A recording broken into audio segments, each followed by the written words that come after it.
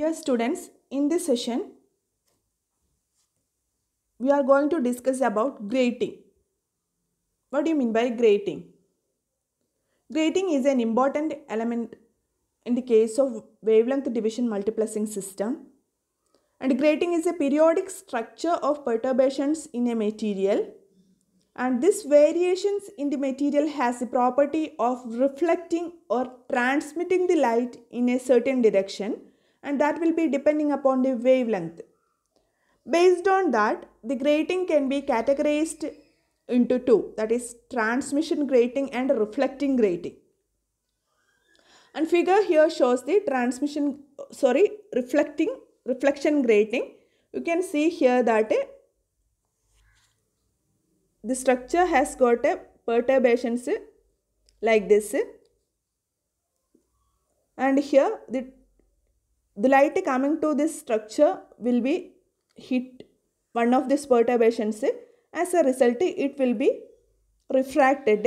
And you can see here that in the incident light there are two wavelength components lambda 1 and lambda 2 when it is hitting this region due to the change in the refractive index of this region the light will be refracted into two waves that is individual components so that at the imaging plane you will be getting individual wavelength components lambda 1 and lambda 2 this is the basic thing that is occurring in the case of grating. And here you can see that the various parameter in the reflection grating are here. This is the angle of incidence that is theta i theta d is the angle of refraction or diffraction angle and here you can see that the periodic perturbations is like this and the period is shown as grating period here. And here theta i is the incident angle and theta d is the diffracted angle. And period of grating is shown here. You can see here period of grating. And period of grating actually shows the periodicity of the structural variation in the material See here the periodicity of structural variation means that here the refractive index will be varying. Okay. So that is represented by grating and uh, in the case of a transmission grating there will be a series of equally spaced slits and the spacing between the adjacent slits is called pitch of grating. The constructive interference at the wavelength lambda occurs in the imaging plane when the rays diffracted at an angle theta d satisfying the grating equation gamma into sine theta i minus sine theta d equal to m lambda. This is the grating equation.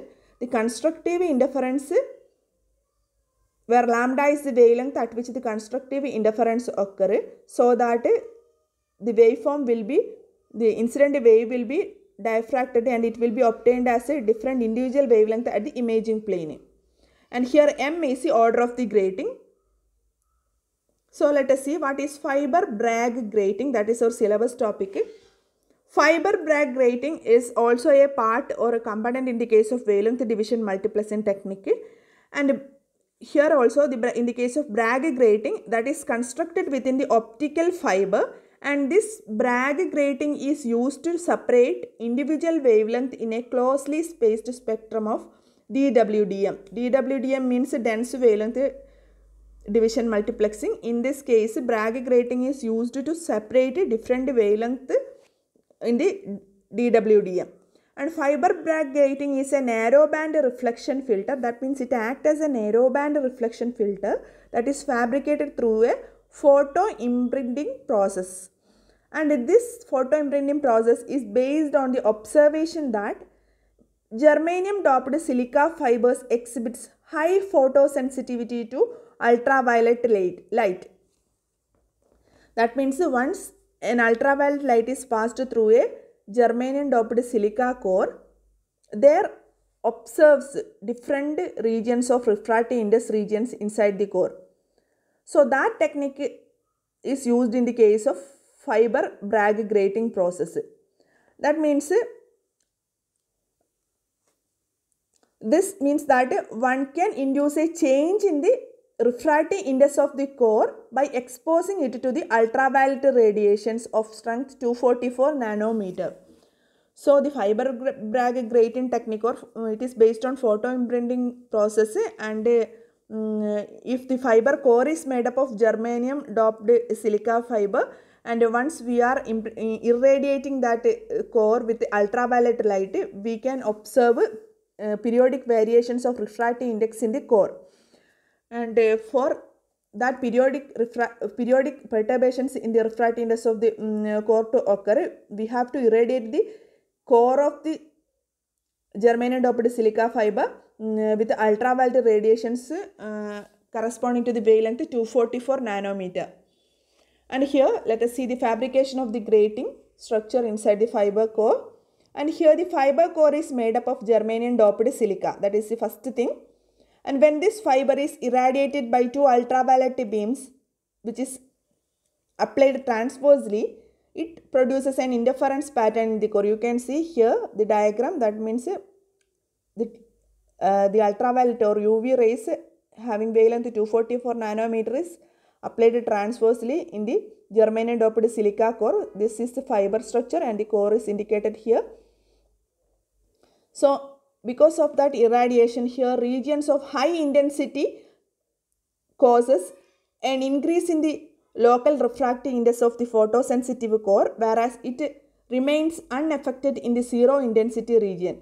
See once this is irradiated by this ultraviolet rays constructive or destructive interference where the constructive interference takes place refractive index will be higher and where the destructive interference takes place refractive index will be lower. You can see it has a sinusoidal variation of the refractive index score that is the interference pattern. And you can also see that uh, there uh, at the lower side uh, there indicated uh, bubbles like structures right? And that indica- uh, indicates the higher refractive index portions okay so here you can see that there is is a term n effective. N effective means that mm, it is the sum of the refractive index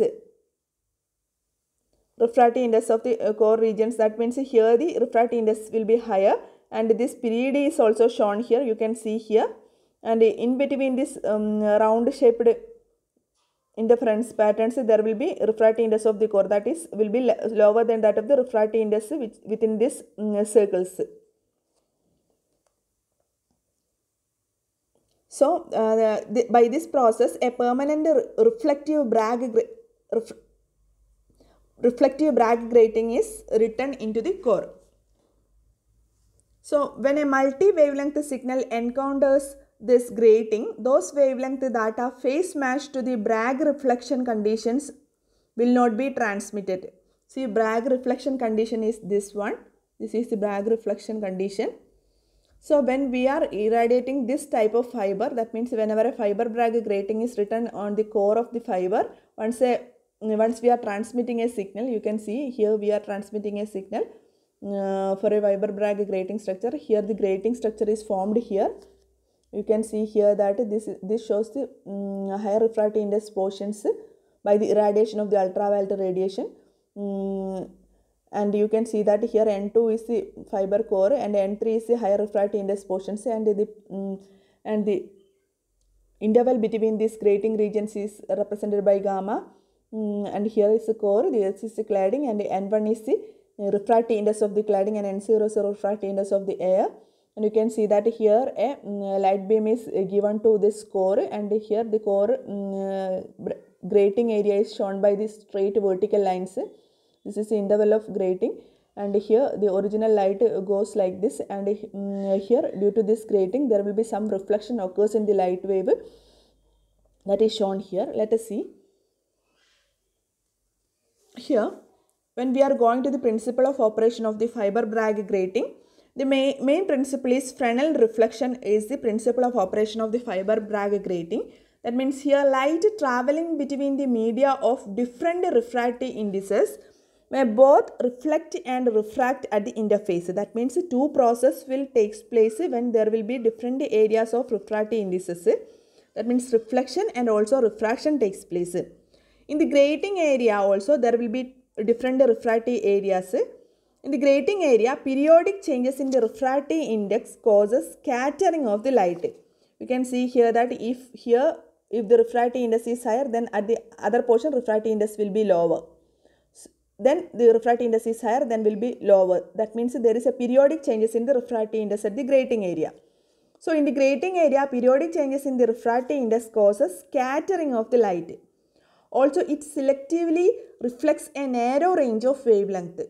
And each time light hits a region of higher refractive index, a bit of light will be scattered backwards. If the wavelength of the scattered light matches with the spacing of the high index zone in the fiber, then the waves scattered from the high index cone interfere constructively and that will produce a strong reflection. And the wavelength selected is twice the distance between the lines written into the fiber grating because the light wave has to go through the region between them twice once into the fiber grating and once when reflected back. So that is shown here. You can see here that when light is traveling like this way in the fiber core due to the grating area some will be reflected back. So the same light when traveling in the forward direction it will be reflected from the this surface. You can see here. That means light will be traveling forward direction and in, in, also it is in the reflected direction. So we we will select the wavelength will be twice the distance between the lines written in the fiber because the light waves has to go through the same region between um, the lines twice because due to the reflection. And here the main equation here is that in the, in the case of fiber Bragg grating, the reflected wavelength is called Bragg wavelength and that is defined by the relation that is lambda b Bragg wavelength will be equal to 2n effective into gamma. And here n effective is equal to n2 plus n3 by 2. Here what is n2 is n2 is the high refractive index grating refractive index n3 is germanium uh, doped silica core refractive index. So due to grating the refractive index is increased here. That increased refractive index is N3 and N2 is the original germanium doped silica core refractive index. So effective refractive index will be N2 plus N3 by 2 and the wavelength of the Bragg will be equal to 2 N effective by eh, N effective into gamma. That's all about this fiber Bragg grating. Thank you.